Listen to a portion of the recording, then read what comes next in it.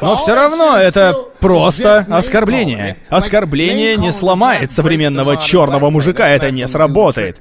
Да мне похуй на такое. Если, например, пойду я в KFC, и по какой-то причине на всех за кассами будут надеты колпаки Куклус Клана, что, по-вашему, я сделаю в наши дни? Выбегу из KFC? Только если я не голоден. Я пойду на пролом. Эй, мужик, дай мне две ножки. И плевать ничего он скажет. Я тебе и булочку, нигер. Но я думал, булка в комплекте, к чему грубость? Я хочу две ножки, шевели булками, ты знаешь, о чем я.